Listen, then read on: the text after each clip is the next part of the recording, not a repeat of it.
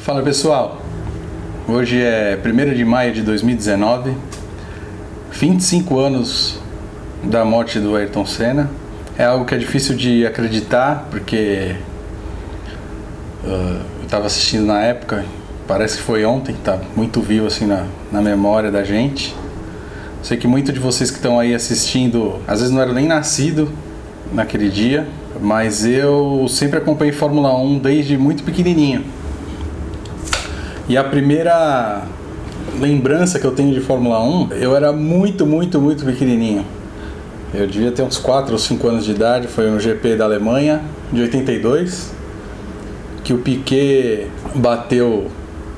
Bateu não com o carro, bateu vias de fato mesmo, porrada. No chileno Eliseu Salazar, no GP da Alemanha daquele ano lá, de 82. E por que, que isso me marcou pra caramba? Minha mãe mora numa rua até hoje que tem feira livre lá, né? E daí era uma tradição assim que eu tento manter até hoje. É, sempre assistia a Fórmula 1 comendo pastelzinho de feira. Na rua dela tinha feira. E aí eu lá, pequenininha, ela me botou para assistir a corrida no quarto dela, sentada em cima da cama, sei lá o que estava acontecendo na sala, que ela me botou no quarto dela para assistir a corrida. Ela tinha ido na feira já, tinha trazido um pastel e uma garrafinha assim de Guaraná, cara. Eu tava sentado assim, pequenininho, cara, ela botou o Guaraná entre as minhas, minhas pernas assim e falou, ó, cuidado, hein, não vai derrubar o Guaraná. Aí você sabe, né, moço?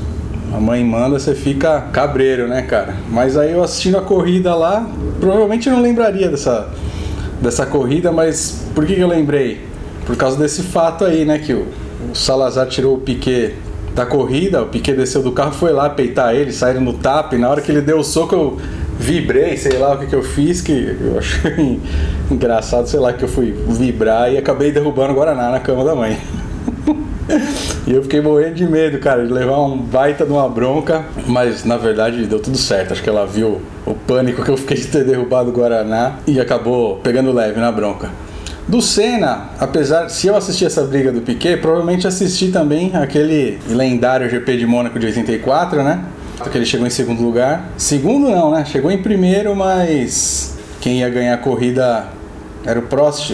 O regulamento na época, assim, se fosse interrompida a corrida, valia a colocação e a pontuação de uma volta anterior à volta que tinha sido cancelado o GP.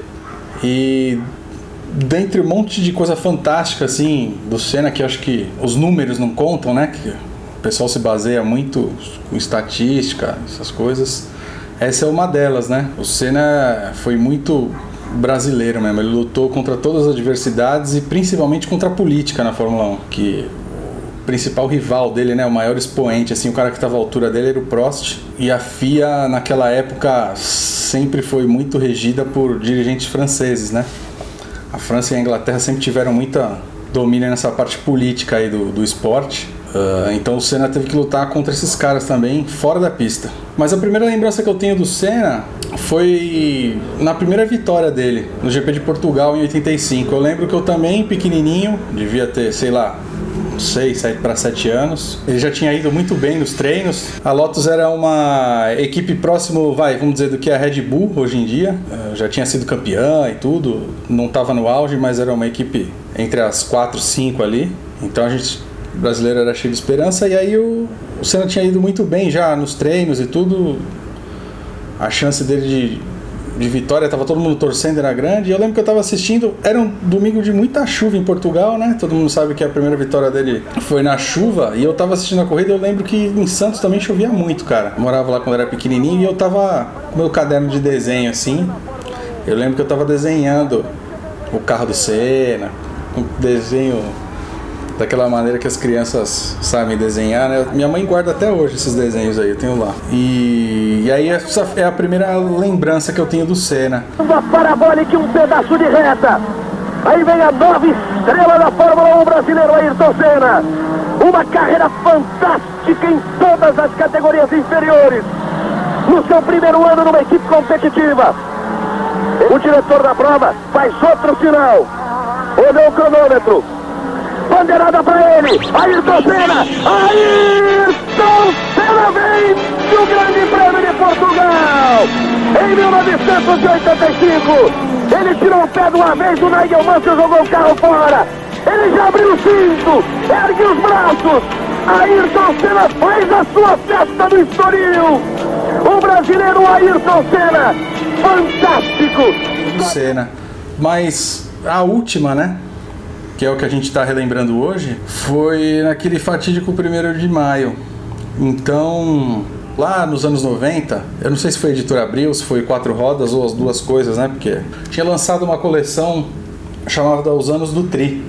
Era os três campeonatos que o Senna tinha sido campeão. Então eram seis fascículos, cada um vinha com a metade de uma temporada. primeira metade de 88, segunda metade de 88. Primeira de 90, segunda de 90. E eram seis fitas de VHS, seis fitas de vídeo que contavam a história do tricampeonato e eu adorava assistir aquilo lá, cara, milhares de vezes via, revia, via. Eu era muito fã de Fórmula 1 nessa época. É, pensando hoje, é, meu pai nunca foi um cara ligado em carro assim. Pensando hoje, talvez eu até tenha começado a gostar de carro por causa do Senna, de assistir as corridas, né? Que aí eu gostava muito, cara, de assistir as corridas.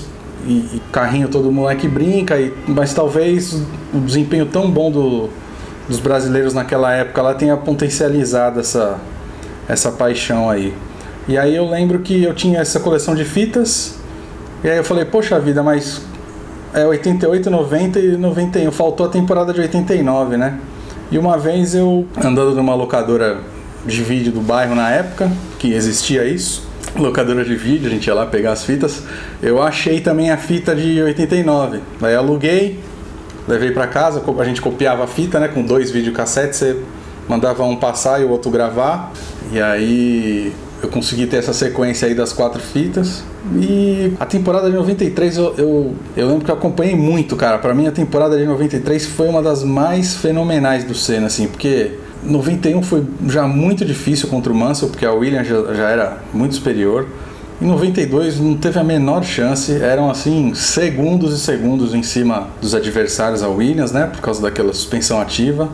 Em 93 a McLaren veio com um chassi muito bom, cara, que era o MP4/8, para mim uma das McLaren mais bonitas até hoje. Só que ela tinha um motor Ford uh, que era considerado, vamos dizer, fraco, né? Mas o Senna tirou leite de pedra, cara. Eu acho que foi uma das temporadas que eu mais gostei de, de ver do Senna, porque assim, eu já era mais velho, já entendia mais as coisas, mas que resgatava aquele início de carreira dele, dele tá mesmo se superando com um carro que era inferior às vezes ao dos adversários e conseguindo bons resultados, né? Ele conseguiu algumas vitórias naquele ano de 93 uh, ah, no Brasil, aquela histórica, Mônaco, aquela de Donington no GP da Europa que todo mundo vê até hoje. Então acho que foi uma uma temporadaça assim, mas na fase europeia o o domínio da Williams foi, foi muito grande, assim, não, não teve como. E aí, quando chegou em 94, ele finalmente assinou com a Williams, né? No final da temporada de 93, ele finalmente assinou com a Williams, então tava todo mundo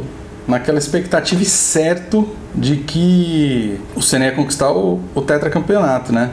E eu era um deles, cara. E aí, como eu já tinha essa coleção de fitas aí, eu falei, vou gravar.